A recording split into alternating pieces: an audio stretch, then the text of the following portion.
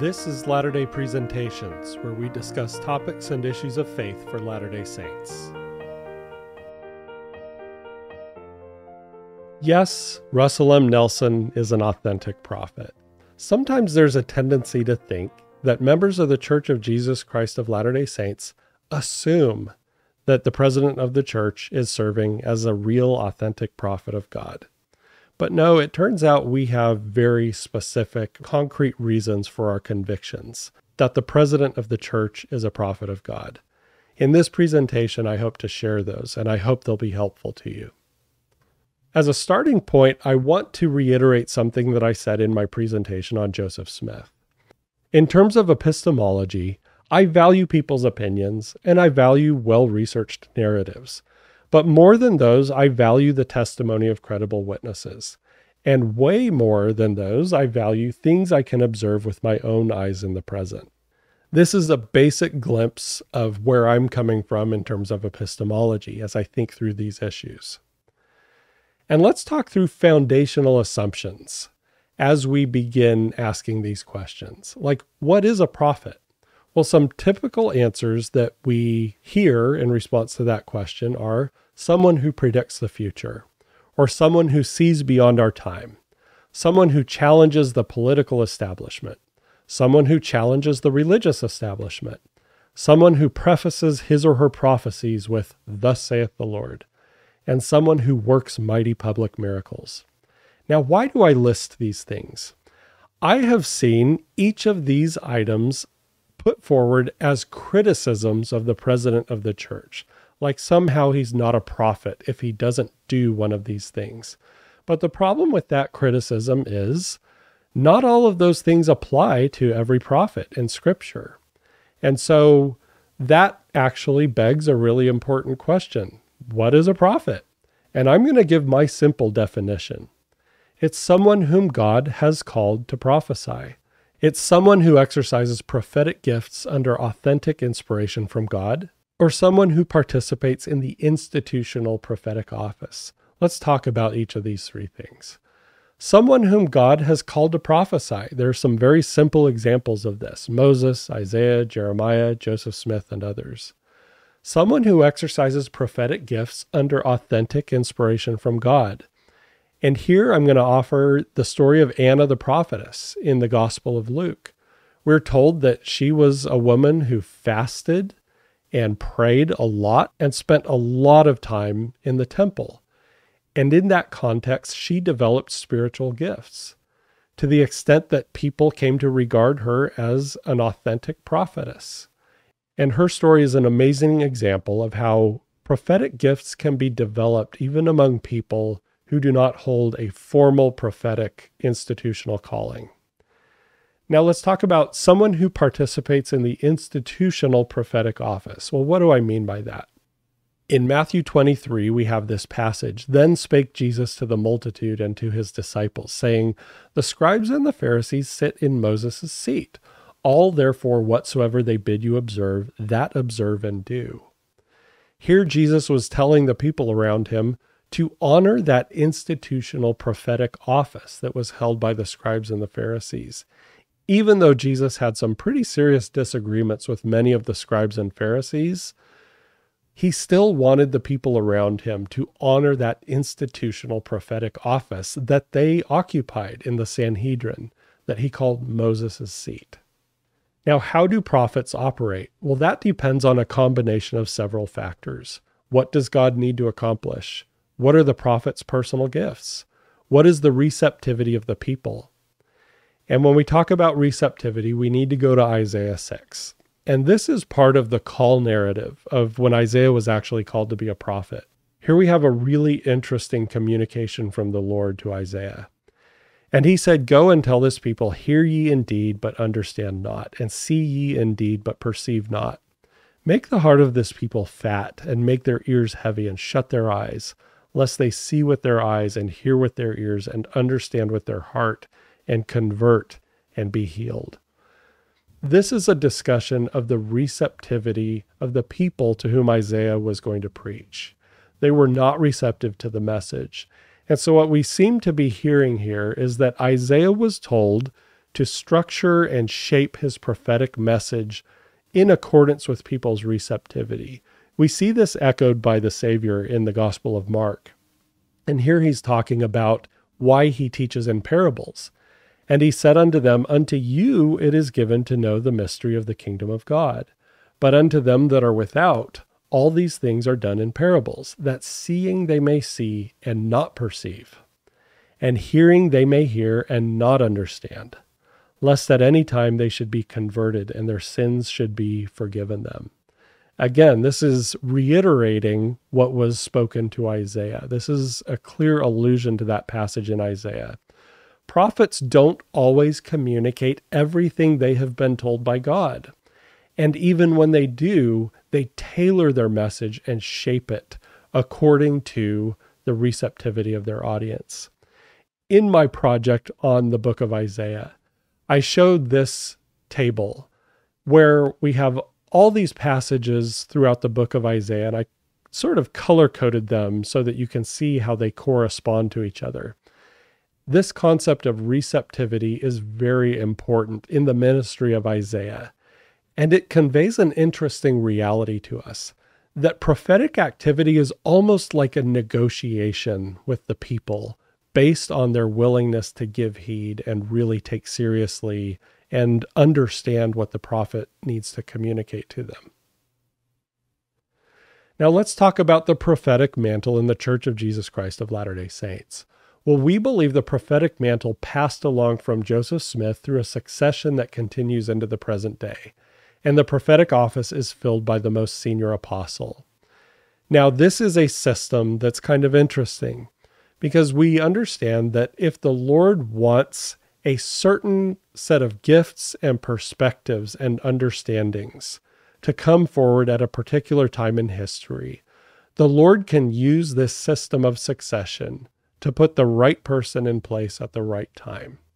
And that's how we understand the Lord to be operating in this system of prophetic succession. Here we have a YouTube video by Stephen Jones that I recommend. And you can see in this video the evolution of the Quorum of the Twelve Apostles and the First Presidency over time. You can see how, over time, the average age of members of these quorums has increased. And why is that a good thing? Why is it good for these quorum members to be old? That's a question worth exploring. Well, people who are more advanced in age, they've seen a lot, they've been through a lot they're not going to be rattled by a lot of things that younger people might be rattled by. They're not going to behave as impulsively as younger people. And that is extremely valuable. If you are running an organization that needs stability and consistency and continuity over time, you want seasoned leadership who are not going to fall apart in the face of difficult situations because they've seen things, they've been there, they know how to respond. Again, if you have ever belonged to an organization that is led by someone who offers a stable influence in the highest echelons of leadership, it's a much better environment to work in as opposed to situations where you have lack of experience and lack of exposure to challenges. And so people's responses are more impulsive and erratic over time. So, this is a very, very valuable trend among the governing quorums of the church. And let's talk about the alternative. What happens when religious communities don't have a steady and consistent system of succession? Well, you get power struggles, like we recently saw with McLean Bible Church here in Virginia, a very public, loud power struggle, and a lot of controversy, hurt feelings, lawsuits, and so forth. And this is actually fairly common in many congregations. When you don't have this predictable system, you get a lot of turmoil and hurt feelings and friendships and families torn apart in these situations. So let's talk about the calling of President Russell M. Nelson. How was he called to the Quorum of the Twelve Apostles? It's worth reading from his biography. Here, his biographer gives us a glimpse of what happened. On January 11th, 1984, a year to the day after the passing of Elder Richards, Elder Mark E. Petersen of the 12 passed away. Now there were two vacancies in the 12, and if anything, the situation was more critical. President Kimball's health had deteriorated even further, and his mind was less dependable. To make matters worse, those privy to the situation knew President Kimball was in no condition to receive the revelation to extend such calls. For months, President Gordon B. Hinckley, the only healthy member of the first presidency at the time, President Marion G. Romney's health had also deteriorated, had left standing instructions with President Kimball's caregivers that if his mind ever cleared, they were to call him immediately, regardless of the hour. Month after month passed with no call. From time to time, President Hinckley looked in on President Kimball, but an opportunity to discuss such a spiritually sensitive topic as calls to the 12 never presented itself. Then at about 2:30 a.m. on the Wednesday morning prior to the April 1984 General Conference, the phone rang at President Hinckley's home. President Kimball was alert and would like to talk to him. President Hinckley rushed downtown to President Kimball's suite in the Hotel Utah, where the issue of vacancies in the 12 was raised. President Kimball said simply, Call Nelson and Oaks to the quorum of the 12 in that order. This is a remarkable story to consider, seeing how the call to an apostle was issued by the president of the church during a time when the president of the church was not well, but did have a moment of lucidity where he was able to convey this inspired message. I would also add some people might look at these kinds of situations where a president of the church falls ill for a time or is incapacitated for a time and might be troubled by that idea. And I would offer a couple of points to consider. Number one, the president of the church has counselors, and those counselors are capable of doing most of the work of the first presidency, except for a few functions like the calling of apostles that have to be done by the president of the church. And another one is more historical. When we look back on the ministry of Isaiah, for example, the book of Isaiah, as we have it now, contains 66 chapters of prophecy. But we know that he prophesied for 30 or possibly 40 or more years. So, what was he doing during the rest of that time when he wasn't writing those 66 chapters? We don't know, but it's clear he wasn't constantly issuing prophecies that were picked up and added to his book.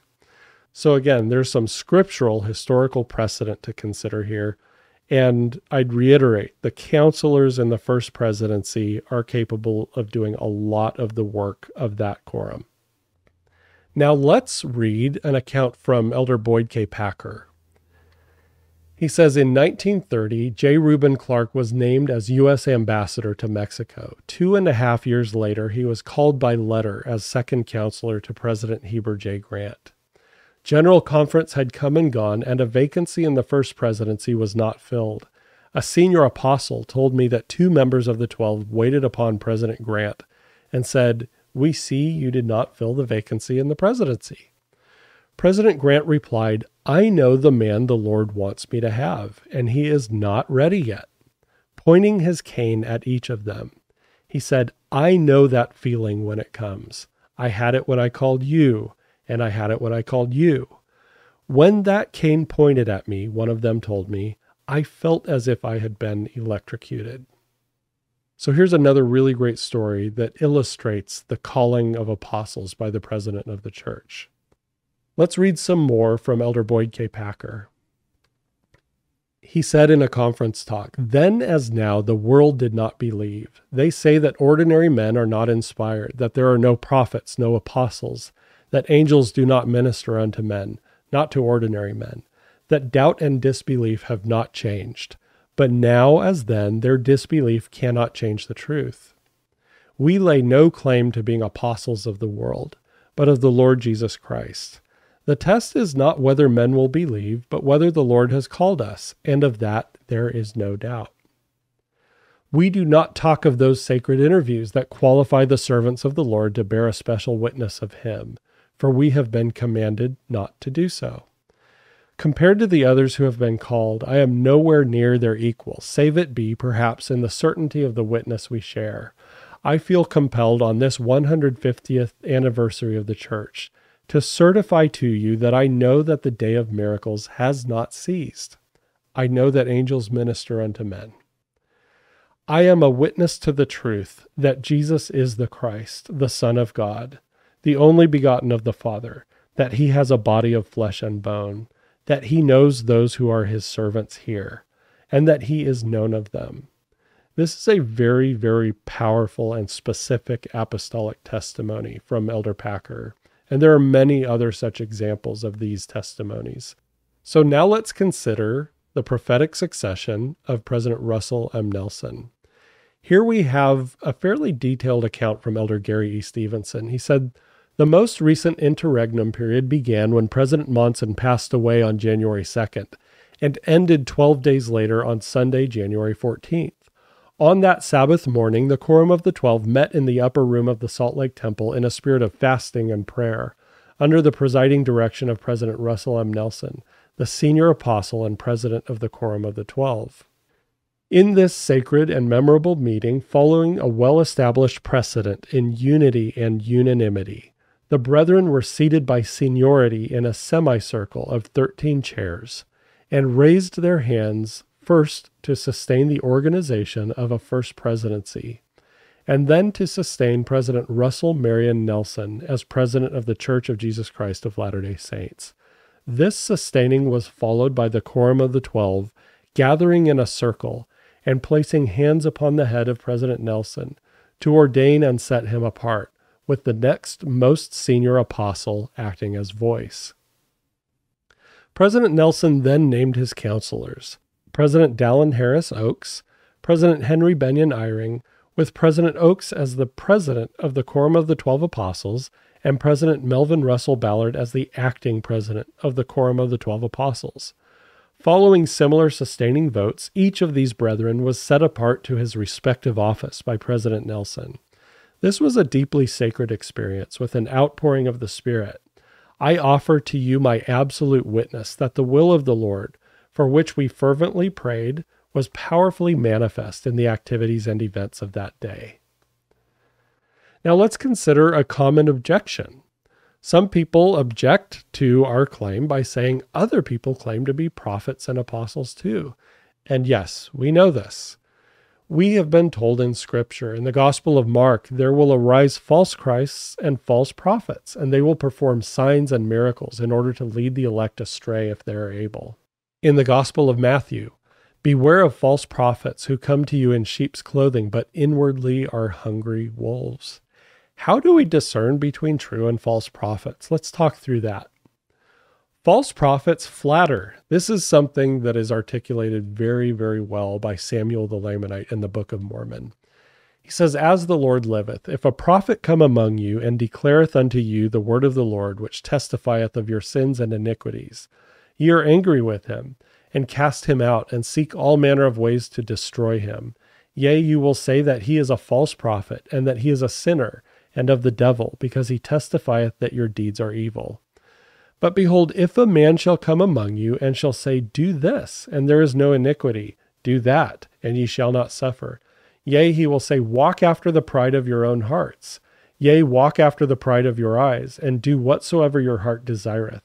And if a man shall come among you and say this, ye will receive him, and say that he is a prophet. Yea, ye will lift him up and ye will give unto him of your substance. Ye will give unto him of your gold and of your silver, and you will clothe him with costly apparel. And because he speaketh flattering words unto you, and he saith that all is well, then you will not find fault with him. Here, Samuel is illustrating a human tendency to want to be validated, to want to be told that we're good, to want to be told that everything that we're doing is right. And false prophets are people who capitalize on this. Let's look at that in a little more detail. So, in my presentation on the term cult as applied to Latter day Saints, I talked about this spectrum of external and internal authority. What do we mean by that? when our spiritual authority is at an extreme of external authority. We're always looking for sources external to ourselves for our spiritual well being. We live on borrowed light and we make idols out of people and even sacred texts. We never actually develop our own spiritual muscles. We trust everything to outside sources. At the other extreme, we have the extreme of internal authority, which really becomes self worship and relativism. And that's where we never trust any sources other than our own feelings, our own perceptions of things. We never defer to scripture or any other kinds of authority that are external to ourselves. So, with the extreme of external authority, we hear people saying things like, trust my academic credentials over revelation, or follow this political savior, or I alone hold the one and only correct interpretation of Scripture. At the extreme of internal authority, whatever you want, God wants you to have. Live your truth. Everything you think and feel is valid, and there is never any need to trust any authority outside of yourself false prophets are going to exploit these human tendencies. Now, remembering my presentation on epistemology, I showed that the way we arrive at what we believe is almost like a council of sources of truth. And as we evaluate this question as the president of the Church of Prophet, I've assembled a council of sources and I believe that by far the strongest source as we evaluate this question is witness testimony. Witness testimony of prophetic gifts among presidents of the church, witness testimony of prophecy and inspiration, and witness testimony of God validating the prophetic mantle in the church. There are some other sources that can be useful, like personal revelation, and experience and even beauty. Some people see the prophetic office validated by beautiful things that happen when we follow the prophet. And so I decided to keep that as an epistemic source here in the council. But let's examine these things this witness testimony of prophetic gifts and inspiration and so forth. And let's start with our prophet Joseph F. Smith. Did he ever experience prophetic gifts and inspiration? I want to offer this case study. And in this example, we have a letter from one of his relatives to his son. And this relative, his name was Joseph Bailey Smith, and he's writing to his son, Joseph Byron Smith. And he appears to be trying to strengthen the faith of Joseph Byron Smith by bringing something to his remembrance. And it was an encounter that they had with Joseph F. Smith. Here is what Joseph Bailey Smith says. And I'm going to paraphrase because he doesn't seem to have been the best communicator. So I'm going to try to paraphrase to make his statement here a little more understandable. He says, You were blessed by Joseph F. Smith, prophet of the church. And when you and I were in his office, you were part of a revelation given when I spoke that it was too bad that the Abraham papyri were burnt in the Chicago fire. Joseph F. Smith put his hands to his face and said, Brother Joseph, they are not gone.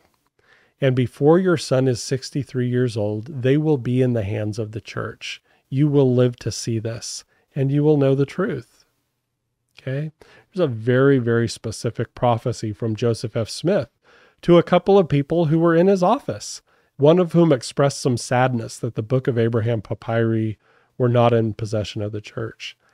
And he was given a very, very specific prophecy. Before your son is 63 years old, those will come back to the church. And this did happen. On November 27th, 1967, the papyri came back to the church, and Joseph Byron was 61 at the time. It's a very, very specific prophecy that was fulfilled. Another example is section 138 of our current Doctrine and Covenants. And Joseph F. Smith said in General Conference of the Church in October 12, 1918, I have dwelt in the spirit of prayer, of supplication, of faith, and of determination, and I have had my communications with the Spirit of the Lord continuously. And then he put forward to the church what we have now as the vision of the redemption of the dead. And you can see some very, very specific, descriptive, visionary language of things that he saw and experienced in that vision. It's a very, very powerful example of prophetic gifts alive and well in the church in the time of Joseph F. Smith. Let's talk about another example that's a little more recent. Let's talk about the example of Spencer W. Kimball and his revelation that offered the priesthood to all worthy males throughout the church, reversing the exclusion of those with African ancestry. In one of his biographies, we are told that President Kimball spoke to the Quorum of the Twelve, and he said, Brethren, I have canceled lunch for today. Would you be willing to remain in the temple with us? I would like you to continue to fast with me. I have been going to the temple almost daily for many weeks now, sometimes for hours, entreating the Lord for a clear answer. I have not been determined in advance what the answer should be, and I will be satisfied with a simple yes or no, but I want to know. Whatever the Lord's decision is, I will defend it to the limits of my strength, even to death. He then outlined the direction his thoughts had carried him, the fading of his reluctance, the disappearance of objections, the growing assurance he had received, the tentative decision he had reached, and his desire for a clear answer. Once more he asked the twelve to speak freely and without concern for seniority. Elder McConkie spoke in favor of the change, noting there was no scriptural impediment. President Tanner asked searching questions as Elder McConkie spoke. Elder Packer also favored the change, speaking at length, quoting scriptures in support. Eight of the ten volunteered their views, all favorable. President Kimball called on the other two, and they also spoke in favor. Discussion continued for two hours. They then sought divine confirmation. President Kimball asked, Do you mind if I lead you in prayer? He had reached a decision after great struggle, and he desperately wanted the Lord's confirmation, if it would come. They surrounded the altar in a prayer circle. President Kimball spoke to the Lord at length. If extending the priesthood was not right, if the Lord did not want this change to come in the church, he said he would fight the world's opposition. Elder McConkie later recounted the Lord took over, and President Kimball was inspired in his prayer, asking the right questions, and he asked for a manifestation confirming the decision.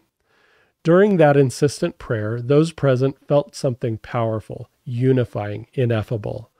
Those who tried to describe it later struggled to find words. Elder McConkie said, It was as though another day of Pentecost came, on the day of Pentecost in the Old World, it is recorded that cloven tongues of fire rested upon the people. They were trying to put into words what is impossible to express directly. There are no words to describe the sensation. But simultaneously, the twelve and the three members of the first presidency had the Holy Ghost descend upon them, and they knew that God had manifested his will. I had had some remarkable spiritual experiences before particularly in connection with my call as an apostle, but nothing of this magnitude. All of the brethren at once knew and felt in their souls what the answer to the importuning petition of President Kimball was. Some of the brethren were weeping. All were sober and somewhat overcome. When President Kimball stood up, several of the brethren, in turn, threw their arms around him. This is another very, very powerful account of God revealing his will to the prophet. Let's look at another example, even more recent. And this is an example from a conference talk by Elder Dean Davies, where he talks about President Hinckley selecting the location for the Vancouver Temple. Let's listen in. After spending time on the site, I asked President Hinckley if he would like to see some of the other sites that had been considered. He said, yes, he would like that. You see, by looking at the other sites, we were able to make a comparison of their virtues. We did a large clockwise loop around Vancouver, looking at the other properties, ultimately arriving back at the original site. President Hinckley said, This is a beautiful site. Then he asked, Can we go to the church owned meeting house about one quarter mile away? Well, of course, President, we responded. We got back into the cars and drove to the nearby meeting house. As we arrived at the chapel, President Hinckley said, Turn left here. We turned and followed the street as instructed. The street began to rise slightly. Just as the car reached the crown of the rise, President Hinckley said, Stop the car. Stop the car. He then pointed to the right at a parcel of ground and said, What about this property? This is where the temple goes. This is where the Lord wants the temple. Can you get it? Can you get it? We hadn't looked at this property. It was farther back and away from the main road, and it was not listed for sale. When we responded we didn't know, President Hinckley pointed to the property and said again, This is where the temple goes. We stayed a few minutes, then left for the airport to return home. The next day, Brother Williams and I were called to President Hinckley's office. He had drawn out everything on a piece of paper the roads, the chapel, turn left here, X marks the spot for the temple. he asked what we had found out. We told him he couldn't have picked a more difficult property. It was owned by three individuals one from Canada, one from India, and one from China. And it didn't have the necessary religious zoning. Well, do your best, he said. Then the miracles happened. Within several months, we owned the property, and later the city of Langley, British Columbia, gave permission to build the temple. That's another very specific, powerful example of witness testimony of God revealing his will to the prophet. And now let's talk about President Russell M. Nelson. And here are some questions we can ask about him. Is he spiritually in tune with God's influence? Is he receiving revelation? And then going back to our questions about false prophets, is he power hungry or authoritarian at that extreme of external authority? Or is he flattering us like the extreme of internal authority? Or is he telling us hard things? And how do people respond to him and what are the results? Let's first look at some witness testimony from Sister Wendy Nelson.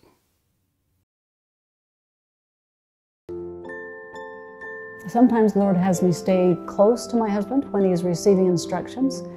Uh, my husband will say during the night, Okay, dear, it's happening. I just remain quiet, and then soon he's sitting up at the side of the bed writing, now with a lighted pen that someone gave him. It's pretty cute. The number of nighttime messages to him since becoming president of the church have increased exponentially. It's incredible. It was an early Saturday morning, and uh, I could feel I was supposed to get out of bed. I wasn't finished sleeping, I didn't want to get out of bed, but I could feel move out of bed now. So I went down and did some family history research. Two hours later, my husband emerged from our bedroom and said, Wendy, you won't believe what's been happening for two hours. The Lord has given me detailed instruction about a process I am to follow. And now let's see another example that answers this question of whether he's receiving revelation.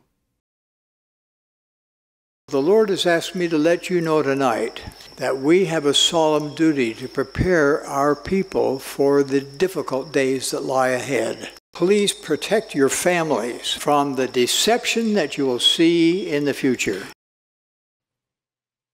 And now let's look at a very simple example of ordinary inspiration that takes place in his role as prophet. Sister Wendy Nelson, in an interview, was talking about something that she noticed happen around the time of the COVID 19 pandemic. She said, so let's just refine that to say, since this last year was no travel, we're really talking about 35 countries and 14 states in two years. That's what we're talking about. And let me just say one other thing about this year of no travel. Imagine this. Exactly a year ago, December 2019, I looked at our 2020 calendar to see where we would be going, where we would be traveling, and looked from January through July every single month there was a huge trip and arenas, huge arenas booked. And I thought, okay, well, this is what we'll do. And I knew that in between those, there was at least one huge trip a month that in between we would be doing local opportunities to be with our local congregations. There I am. I've sort of got my whole head set into this is how it's going to be in 2020. And suddenly, in early January, I looked on the calendar again and everything's gone, meaning all those trips were gone. So this is early January. This is pre COVID. And I said, I said, where did those trips go? And he said, I just felt like we didn't need to do them. I just felt like I should take those off the calendar. This is a wonderful example that speaks to the question of whether he's in tune with God's Spirit. There are situations where he just acts on inspiration without really knowing why. And this is a pretty remarkable example of that. And now let's move on to this question of whether he's a power hungry authoritarian personality. Let's listen to Elder Quentin L. Cook describing the revelatory process with President Nelson in a conference talk. When important changes to Bless Our Homes were announced at the October 2018 General Conference, I testified that in the deliberations of the Council of the First Presidency and the Quorum of the Twelve Apostles in the temple, after our beloved prophet petitioned the Lord for revelation, a powerful confirmation was received by all. At that time, other revelations relating to sacred temple ordinances had been received but not announced or implemented. This guidance commenced with individual prophetic revelation to President Russell M. Nelson and tender and powerful confirmation to those participating in the process. President Nelson specifically involved the sisters who preside over the Relief Society, the young women and primary organizations. The final guidance in the temple to the First Presidency and Quorum of the Twelve Apostles was profoundly spiritual and powerful. We each knew we had received the mind, will, and voice of the Lord. I declare with all solemnity that continuous revelation has been received and is being received through channels the Lord has established. That's an amazing account. Look how he involved other people, especially how he involved the sisters who preside over the Relief Society, Young Women, and primary organizations. I need to reiterate something that I've said in other contexts. When we use the phrase follow the prophet, sometimes we're talking specifically about the president of the church. But more often, we're talking about a group of councils that govern the church. And this group of councils includes women.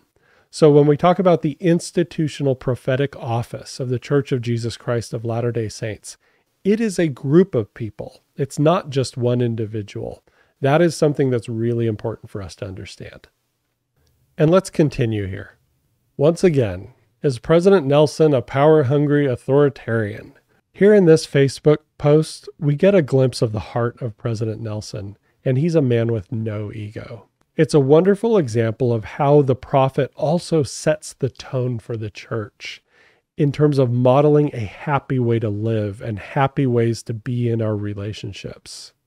And now let's move on to this question Is President Nelson flattering us like false prophets do, or is he challenging us? Let's look at some examples of things he has been telling us. Brethren, your first and foremost duty as a bearer of the priesthood is to love and care for your wife. Become one with her. Be her partner. Make it easy for her to want to be yours. No other interest in life should take priority over building an eternal relationship with her. Nothing on TV, a mobile device, or a computer is more important than her well being. Take an inventory of how you spend your time and where you devote your energy. That will tell you where your heart is. Pray to have your heart attuned to your wife's heart. Seek to bring her joy. Seek her counsel and listen. Her input will improve your output.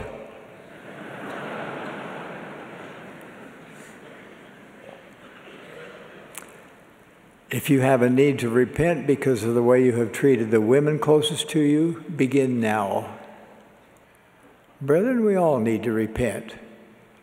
We need to get up off the couch, put down the remote, and wake up from our spiritual slumber.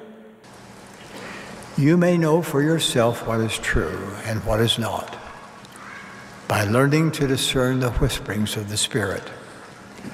Ask your Heavenly Father if we truly are the Lord's apostles and prophets. Ask if we have received revelation on this and other matters. Ask if these five truths are in fact true. Now, as president of His church, I plead with you who have dis- distanced yourselves from the church and with you who have not yet really sought to know that the Savior's church has been restored, do the spiritual work to find out for yourselves. And please do it now. Time is running out.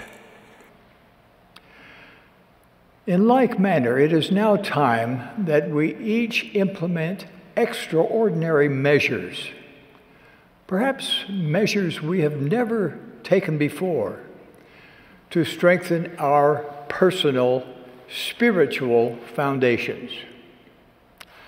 Unprecedented times call for unprecedented measures. My dear brothers and sisters, these are the latter days. If you and I are to withstand the forthcoming perils and pressures, it is imperative that we each have a firm spiritual foundation built upon the rock of our Redeemer, Jesus Christ. So I ask each of you, how firm is your foundation? And what reinforcements to your testimony and understanding of the gospel are needed The temple lies at the center of strengthening our faith and spiritual fortitude because the Savior and his doctrine are the very heart of the temple. Everything taught in the temple, through instruction and through the Spirit, increases our understanding of Jesus Christ his essential ordinances bind us to Him through sacred priesthood covenants. Then, as we keep our covenants, He endows us with His healing, strengthening power. And oh, how we will need His power in the days ahead. And now let's ask the question how do people respond to President Nelson? Because often that can give us some clues as to whether somebody is an authentic prophet. The scriptures describe people's responses to true and false prophets. True prophets are met with accusation, anger, and threats. In scriptural language, it's weeping, wailing, and gnashing of teeth. And this is an opportunity to observe are critics speaking from a place of psychological and emotional wholeness? Do they engage in cognitive distortions? Do they employ poor critical thinking skills? And do skeptics operate with sound assumptions and epistemology? And by contrast, what do we observe of people who follow President Nelson's guidance? What can we observe of their quality of life? What fruits are observable in their spiritual lives? And are they more or less capable of forming strong and supportive communities, what we call Zion, right? These are things that we can observe. These are very strong indicators of the authenticity of the prophetic mantle in the church. Sometimes in the church, we have our favorite apostles, people who we're eager to see in general conference, eager to hear from, because they teach in a certain way or they just have a certain style or something or other that appeals to us. And then we sometimes have apostles who we kind of skip over in terms of paying attention. And the honest reality is that during his time as an apostle, President Nelson was an apostle who I generally kind of skipped over in general conference. I didn't pay nearly as much attention to him as, as I did to other apostles. So it was kind of interesting when he became president of the church. My honest impression was that he would be kind of a placeholder in that role. I didn't expect him to be much of an innovator in terms of how he carried out the prophetic office. And I'll also say that I have lived through several transitions of presidents of the church. And I've heard from other church members over the years who have described receiving a witness that this person who now occupies the prophetic office is indeed God's prophet. Again, I've seen several prophetic successions, never had that kind of an experience. But with President Nelson, it was different. When he gave some of his initial first talks as president of the church, I personally felt and sensed something very, very different about him. And it surprised me in a way that I had never experienced before. And I'll give an example of that. One of his initial statements to the church in general conference is one that I go back to a lot because I can sense the prophetic power of this statement. Let's listen to it here. I am optimistic about the future. It will be filled with opportunities for each of us to progress, contribute, and take the gospel to every corner of the earth. But I am also not naive about the days ahead. We live in a world that is complex and increasingly contentious. The constant availability of social media and a 24 hour news cycle bombard us with relentless messages. If we are to have any hope of sifting through the myriad of voices and the philosophies of men that attack truth, we must learn to receive revelation. Our Savior and Redeemer Jesus Christ will perform some of his mightiest works between now and when he comes again. We will see miraculous indications that God the Father and his Son Jesus Christ preside over this church in majesty and glory. But in coming days, it will not be possible to survive spiritually without the guiding, directing, comforting, and constant influence of the Holy Ghost. This was a very, very powerful statement from President Nelson, and it has been echoed at several points during his ministry. It's something that we really need to take seriously, and it has impacted me greatly, more than most prophetic statements in recent years. And as I close this presentation, I want to offer my encouragement to take seriously the words of Christ regarding his servants. In the Gospel of Luke, the Savior said to his apostles, Whoever listens to you listens to me, and whoever rejects you rejects me, and whoever rejects me rejects him who sent me.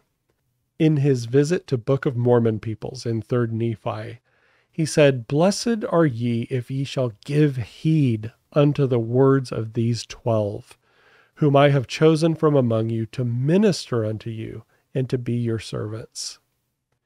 And if you are skeptical or hostile toward our claim to the prophetic mantle in the church, I would encourage you to examine your perspective. Is it really based in evidence, or is it just based in your paradigm?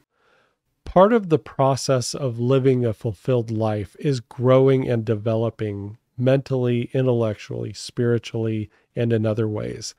And a big part of that development is learning to examine our own perspective, our own paradigm, the reasons why we believe the things that we believe.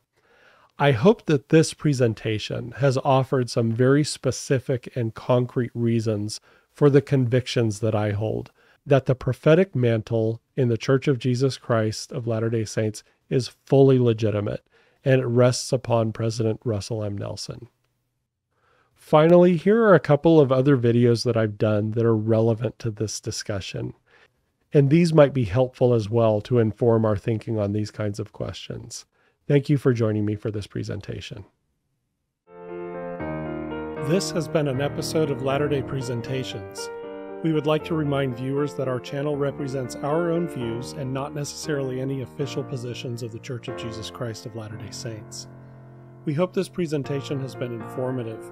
Our notes for this show are at Nauvoo Neighbor, and the link can be found in the show description. Also, in the show description, we have a link to provide feedback. If you would like to suggest a topic for discussion, or if you would like to contribute a presentation on a topic of interest to you, let us know. Thanks again for joining us.